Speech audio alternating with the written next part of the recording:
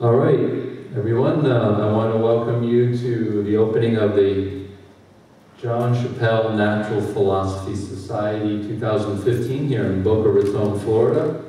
Very hot and humid here in August, but we're very nicely situated here at Florida Atlantic University.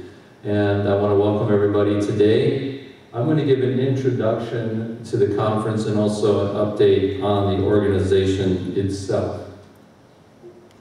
Uh, the John Chappell Natural Philosophy Society was formed this year formally by former NPA members. It's a 170C2B. I'm not uh, an expert in what those things are, but all I do know is that it is not a 501, and I know that there was some concerns about that uh, posed, posed by other members who had experience with 5013C or uh, yeah, 3C is in the problem uh, with legalities of that. So we decided to go with, how, how do you say, a little lesser uh, imposing, uh, I guess, organization. Again, I'm not an expert on that. If you want to look it up or talk to somebody, um, we can get you in touch with them.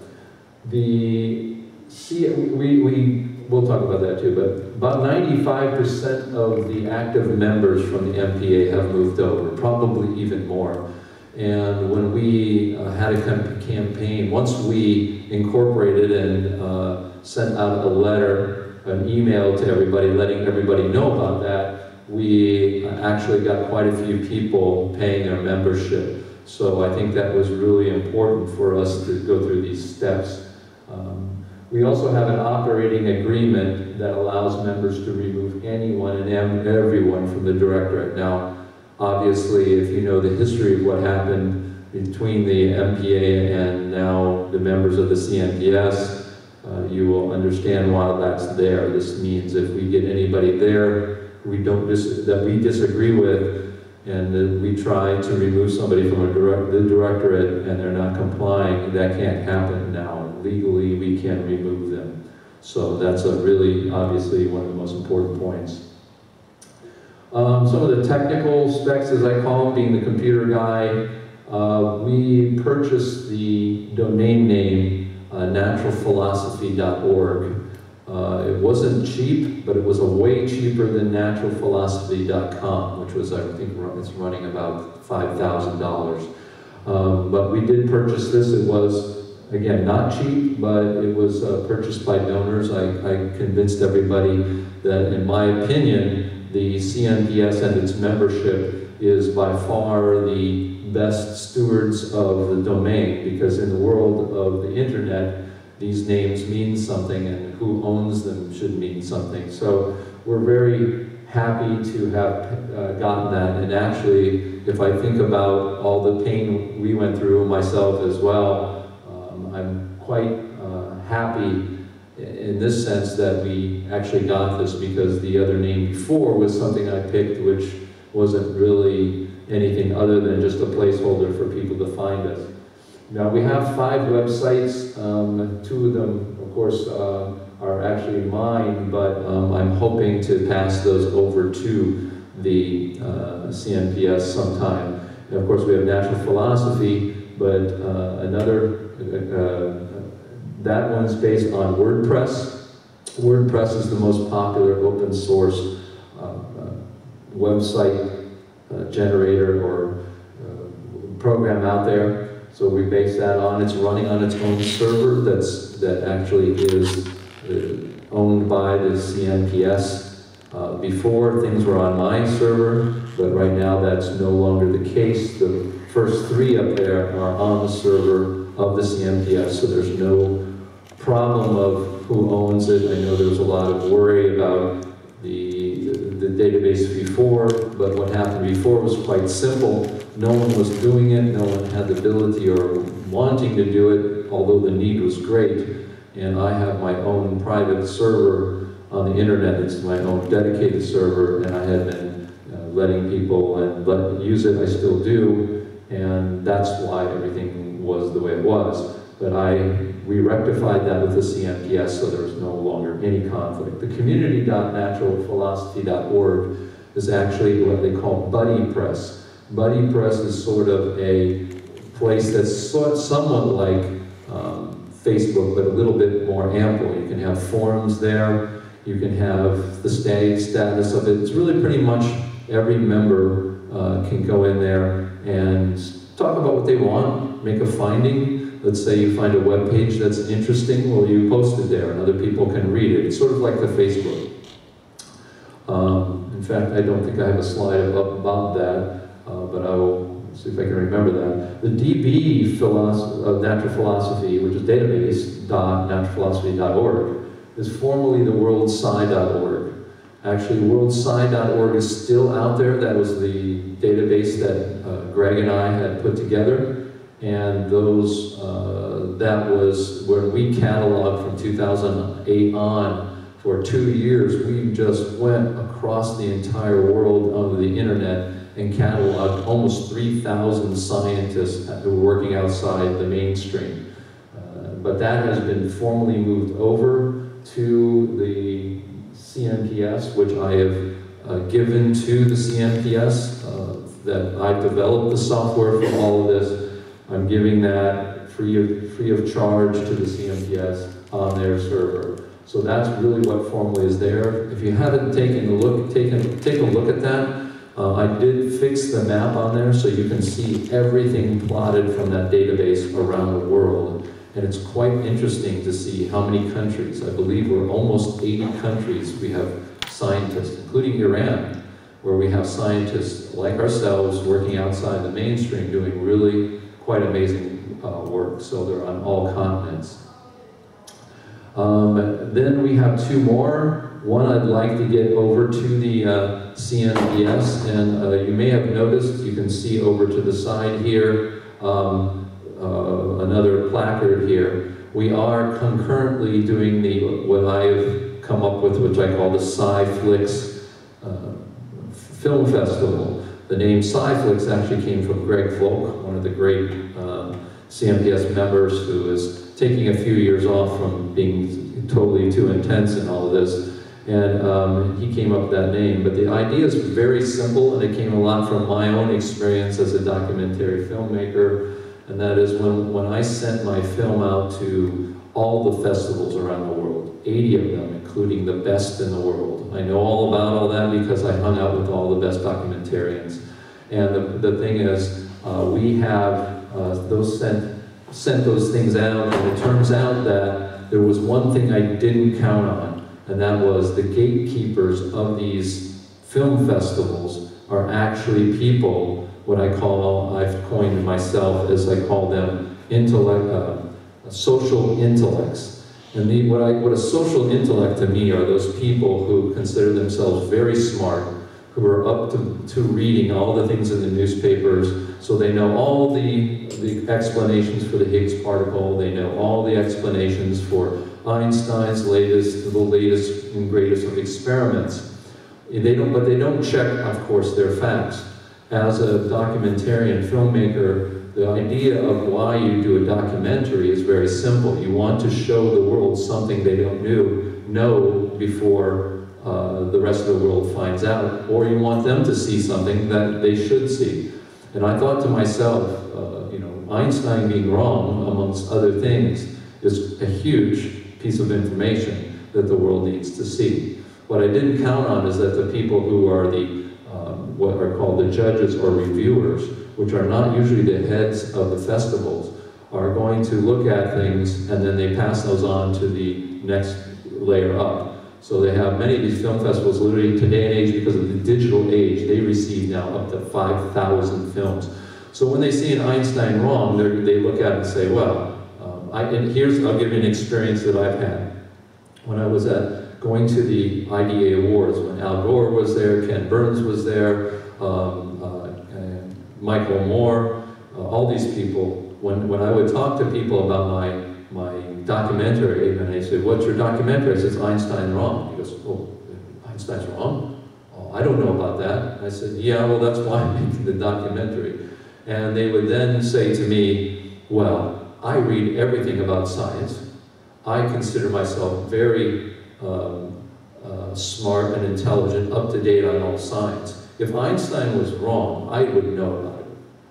Now, if you think about it, that's exactly what documentarians shouldn't do. They should say, wow, that's a big story, let me see it. Of course, the average person actually does that. When I screened this to 150 people, they all loved it. There was, they weren't coming up to me in the audience from uh, there. Uh, some people there were people who, who uh, had their own businesses. Other people were just plain ordinary workers. They were intellectuals, but they come up and say, they didn't come up and say, Einstein's wrong. And I mean, Einstein's right. What are you talking about? So the problem wasn't the film. The problem wasn't the production. The problem wasn't the story. The problem is the gatekeepers, and that's one of the things we're going to be talking about in this conference, is in science, uh, society, and consensus. And that is, why is it that a film that's quite entertaining, and I know because I've shown it and had a lot of feedback, great music, original music, that should have been perhaps even an Oscar nomination because they looked for big, big themes. Why didn't that happen? So this is, was the progenitor or the uh, beginnings of what we, I said, okay, we need to have uh, a film festival that will not have this problem of the gatekeeper. And we came up with the Sci-Flix. And uh, that is a quite a, a, great idea. And uh, this year, Nick, Nicholas Percival and I did them. We had solicitations from films all around the world. We received uh, a number of them, and we reviewed them, and we also have the ability to start recognizing, and we will recognize in this conference, uh, as part of this conference, the films and docu and we, we include documentaries, short documentaries, edutainments, um, and we also include lecture. This year we're only giving out five because we have, I'd rather have some of the people who have made great films be here, like Neal Adams, has, has a dissident video that has been shown to more than, has 2 million views online. We also have Randall Myers, who made a film 10 years ago that was really groundbreaking. Uh, he couldn't make it this year, so we're going to hold off, or we're going to be, just like we do with the awards, we want, we'd like to have them recognized. But this year, that's what this is about. Uh, Nick Percival has been very positive on this. We also do movie reviews, so we'll take the Particle Fever movie about Higgs say, this is a great entertainment, there's only one problem, they don't investigate whether this is all uh, good science or not. And so we need to be that voice. So the voice of the Sci-Flix is not only the awards itself, but we do reviews. Harry Ricker also has been doing really great reviews on some of this. And we're going to go out there and tear some of this apart and be that voice. So that's what Sci-Flix, and I hope to move that and get that as part, uh, once the membership is going, perhaps vote that in as part of this organization's responsibility. The last one is Dissident Science, and uh, we are listed, Dissident Science is listed on iTunes podcasts. So this has got some pretty good profile. Um, I've done some, it's a little bit behind because of this conference. I've been, but my, idea is that at least every couple weeks come out with a 45 minute um, presentation on that. Um, abbreviations, let's go on. Uh, it was the NPA, the Natural Philosophy Alliance. Uh, if we were to abbreviate everything, John Chappell, as you know, is the founder of the NPA, and one of the reasons um, it was my suggestion that we actually make it part of the name is that when we moved away from the NPA, that it was very clear that we were taking with it the members and the vision of John Chappell, which I had the pleasure to meet in 1996 and actually shared a room with him. Uh, the JCNPS is a little too long, so we figured you'd take his last name, CNPS. It's easier to say, so that was the idea there. Um, I want to pay special thanks to these people, uh, Nick, Nicholas Percival, Duncan Shaw, who's with us today, Lou Ellen, I won't say her name because she told me over the phone I still couldn't pronounce it. It doesn't pronounce like it's written, but we wish her uh, a speedy recovery. She had uh, surgery just, uh, I think, last week. We heard she's doing well. Uh, incredible work she has done, uh, uh, and her son as well to help us get the nonprofit state. Of course, Greg has all through this been very helpful. He's taking a break now, very much well-deserved break. Uh, Duncan Shaw, I want to thank him uh, particularly in his wording and his crafting of a lot of our emails and communications with the membership. Very good, and of course, uh, with his background at saying things in very uh, good ways. I'd often say too much, and uh, he would uh, often help out with all of our communications. And then Nick, Nicholas Percival was always there, putting in very detailed work, uh, and that was uh, quite quite well. Um, uh-oh, are we going backwards now? Here we are. Okay. Um, this conference was the same as we're going to focus on the CNPS scientists' work. Uh, that's very important. I know Duncan Shaw was very adamant about that. And of course, I was too, but we want to make sure people understand that the new directions we're taking are not going to take away from the basis of what this is all about, and that is for scientists to get together and actually sit in a room and talk with people who don't have all those, uh, you have fellow one, one person came up to me at all the conferences, you know, it's amazing. When I talk about my work to somebody, they get it.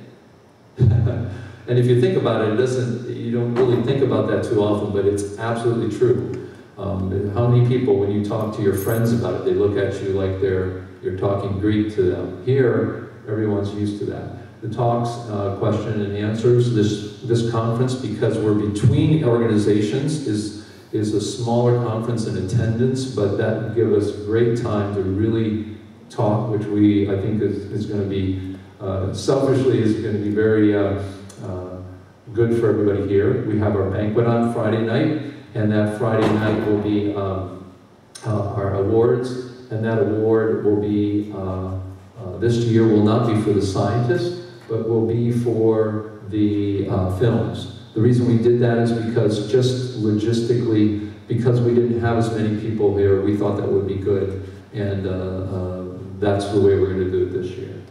Um, also, we have a social night. Uh, normally, we have uh, uh, a night who, where when we have 70 people, we can't invite everybody, but now we can. And that's going to be at my home here in Boca. It's going to be a wonderful night. We're going to have some dinner there and we're going to screen one of the films. Uh, it's called Forks Over Knives.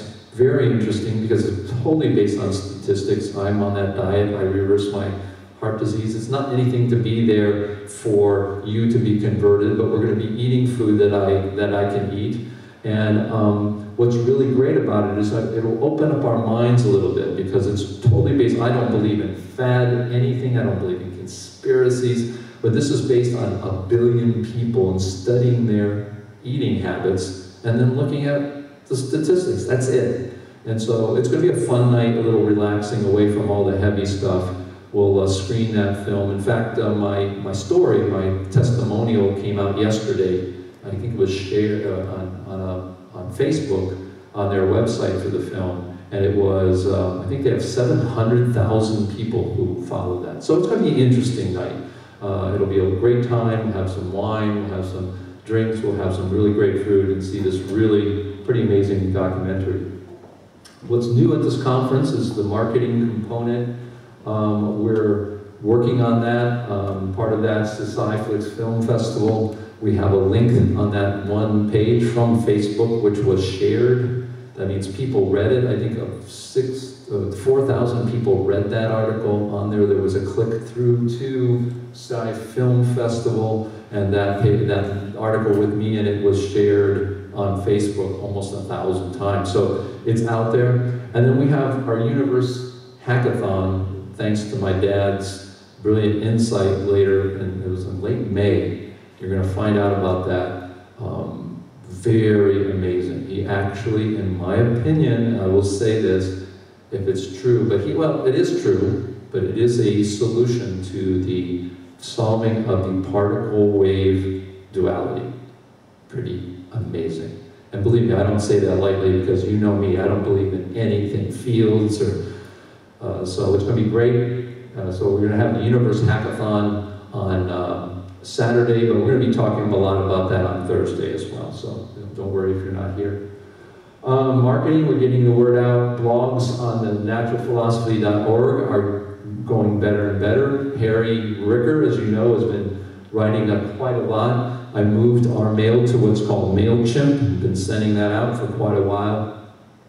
Now it's working very well. Uh, the blogs, I think, are getting a lot of hits. I'm seeing people on Facebook sharing those all over. We have a Facebook page. We have a Twitter page for the NPA, or the, see, there you go, CNPS. And we also have a YouTube channel. So all these videos you see here today will be on the YouTube channel in the coming month when I get those uploaded and those get shared. Some of the ones from the past conferences this membership was made, making up have been viewed 4,000 times. So they do get viewed out there. We're going to have a panel discussion with Dr. Andrew Bartlett, who I see slipped in the door. We're very happy to have him here. Very excited. I'm really looking forward. I've had numerous talks with him. Uh, we're very honored to have him here. Uh, we're going to have a panel discussion with myself also about the marketing aspect. How do we get scientists to take a few minutes? I have to fight with my dad all the time, and that's okay because everyone here is working on stuff. But I'm going to try to convince people more and more. If you just take a half an hour a week and talk something about that's interesting, that interest that you have, like have a conversation in your blog, can then be shared and then many people will see it. It becomes indexed on the internet, so when people Google it, you may come up in those. Uh, um, also, we have meetup groups. Believe it or not, the moment I put the word, I'm not kidding, I put the word hackathon, the universe hackathon, we went from only a couple of us going to these local meetup groups, it's a local CNPS, to what now, seven now people are signing up? just because of that word, that intrigued them quite a bit. And I think we have something actually there for those who are, are in the, if, if, for those of people who believe the universe is made up of space, mass, and massive motion, and that's it, which we believe, um, we think we have something. So that's pretty exciting. Um, yeah, I talked about this to honor filmmakers of science films. We'll present the awards on Friday night's banquet. We'll have two screenings, Wednesday night today, the Anomalies by Barry Setterfield, and questions and answers afterwards with Barry and the production crew. Uh, Thursday night, we're going to be uh, screening Forks Without Knives, knives spelled as in surgical. That'll be hosted by myself at my home. Uh, it's not going to be a light supper. My, my wife, uh, who is actually a clothes designer, but an incredible cook, she learned from one of the best Brazilian cooks in Los Angeles around the world. Uh, we'll be cooking, and so it's going to be some really delicious food, so it's going to be a wonderful night. Um, and there's the uh, symbol. Um, I made this, if you see this like swirl there for the Sci-Flix there, um, that, that sort of galaxy-looking thing, I made a beautiful logo for the NPA. And as an artist and a scientist, I was very unhappy that I couldn't use it again. So you're going to see that in many places, and I, I actually took advantage of that. And so I love that, and so you can see sort of like the film reel in the middle of a galaxy. It's pretty cool, Sci-Flix, and the grand prize winner, etc. Those are the same Leafs. Um, in fact, two of the films I've actually contacted who won this year. Uh, we're not, we don't have time to screen them, but they were very happy to be included, actually contacted me, and we're very happy I will be sending their awards. So it's, it's working out um, the Universe Hackathon. It's going to be from Saturday from 9 a.m. to 5 p.m., uh, led by the Light Gravity Structures Group. That's uh, what we're calling ourselves now. Um, the Hack 1.1 was done in May through July of 2015. Gravity and Light completed. Yes, you'll hear about that on Thursday. And the Universe Hackathon, we realize now that this is an incredible model where we've in our opinion, solve light and gravity. Now, it's, we, realized very shortly after that that we have to start working on atomic structure.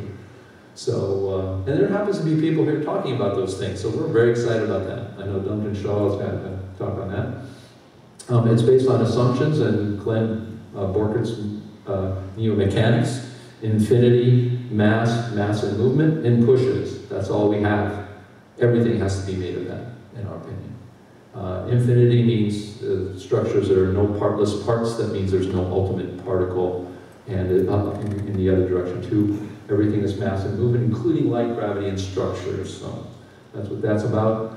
There it is. Look at that great logo that I, I made and still around. so it's a uni- universe hackathon. I guess it's great to have a person that's actually a scientist and an artist who can actually get all that stuff. I don't have to prove it, I do it. So, so that's a logo I came up with. Um, I think that we have a real uh, marketing thing and a real thing. Get this, I will leave you with this um, message, uh, and that was from the hackathon, is that I was talking to one of the people who will be there. People at my work were sitting at lunch talking about this stuff, and I'm building the CNPS one by one from my think tank where I work at uh, LexisNexis. And he and I told him, I came up, I said, you know, this model that my my father sort of started, even though that many people had done that, um, is really could turn into crowd theory. Because of the assumptions we have, we could actually do like crowdfunding. No, this is crowd theory. We have the rules. You come up, you come up with your model of moving mass to do these things.